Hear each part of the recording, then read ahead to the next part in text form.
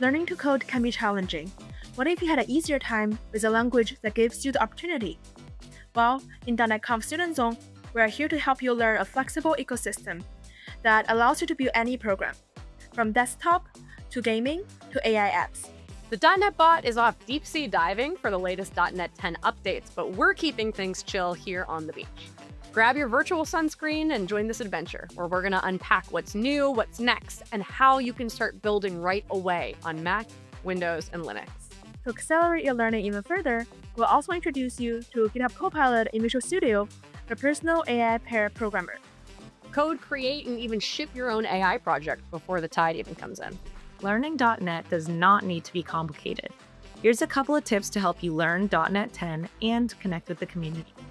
Tip number one, you can run .NET from the CLI. Aspire makes web dev easy.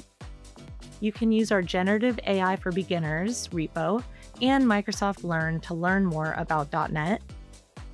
You can build minimal APIs with minimal code. Sunglasses on? Good.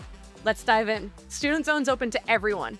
Bring your curiosity, learn what it's like inside Microsoft, and meet the student ambassadors making waves all over the world. Join Student Zone on November 14th at 9 a.m. Pacific for a live stream or a video on demand after the event on YouTube. See what you can build when you mix a little bit of beach time with some serious .NET power.